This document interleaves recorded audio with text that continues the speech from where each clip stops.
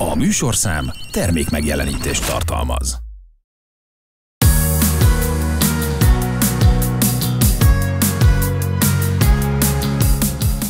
Szép napot kívánok, itt vagyunk 2000-ben. Ekkor indult a Legyenünk is milliómos Vágó Istvánnal. Új műsor a tévében, új szabályok az utakon.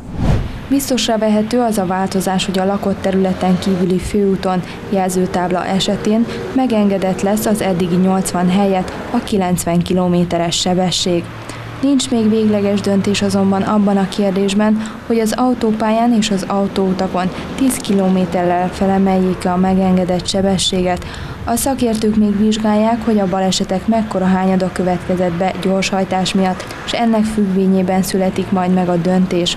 A tervezet alkotói szerint a csekély mértékű alkoholfogyasztást a jövőben sem engedélyeznék a gépjárművezetők számára. Ez volt már az Egy Perc Retro, nem sokára ismét találkozunk valahol a múltban.